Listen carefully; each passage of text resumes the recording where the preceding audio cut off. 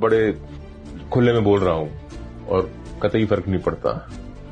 Security establishment के लिए nightmare है। आरएनडब्ल्यू आईबी स्टेट इंटेलिजेंस इनके लिए ये सरकार एक एब्सोल्यूट नाइटमेयर है। इसने एक्सेप्ट किया कि फोर्ड फाउंडेशन से मैंने पैसा लिया। फोर्ड फाउंडेशन सीआईए की फ्रंटल ऑर्गेनाइजेशन है दुनिया में सबको पता है। खालिस्तानियों की फंडिंग पहले आईएसआई से आती थी अब उसको चाइना कर रहा है।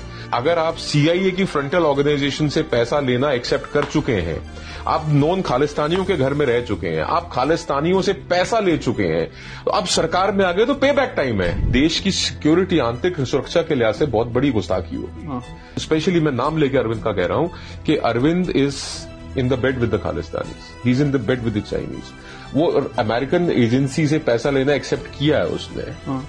तो वो कब किस दिशा में परिवर्तित हो जाए बहुत मुश्किल है भगवंत के हाथ में अगर कमान रही फॉर द मोस्ट पार्ट तो वो दिक्कत उतनी आएगी नहीं। पर अगर वो जैसे केंद्र की इंटरवेंशन राघव की या अरविंद की या मनीष की या और किसी की पंजाब के अंदर रही क्योंकि इंटरेस्ट तो होंगे पूर्ण राज्य पहली बार मिला आपको पर उनको कितने अच्छे से भगवंत रिजिस्ट कर पाएँगे और कितने बढ़िया तरीके से अपने शासन को चला पाएँगे उसके ऊपर बहुत निर्भर करता है। अरविंद दिल्ली के मुख्यमंत्री पर विवाद कोई नहीं है।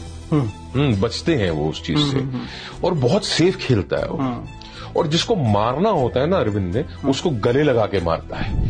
तो अरविंद आम आदमी पार्टी का और कांग्रेस की जो टॉप लीडरशिप है और उसके बैकड्रॉप में एक चीज़ और देखना जो सीसीपी के साथ कांग्रेस पार्टी का एक एग्रीमेंट एमओयू है हाँ। तो ये उस एग्रीमेंट का एक हिस्सा है। कहीं ना कहीं जहाँ पे ये लोग फेल हो रहे हैं वहाँ पे ये स्पेस दे रहे हैं। आम आदमी पार्टी को चाहे वो दिल्ली की बात हो। अरविंद का स्टाइल ऑफ़ वर्किंग क्या है?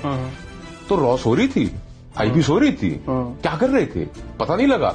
स्वीट टेररिस्ट और स्वीट टेररिस्ट को सॉल्ट टेररिस्ट होने में कितनी देर लगी हु नोस भगत सिंह की जो देशभक्ति थी उसके तो अरविंद नज़दीक भी नहीं है। और देशभक्त तो मैं उनको किसी नज़रिए से नहीं मानता।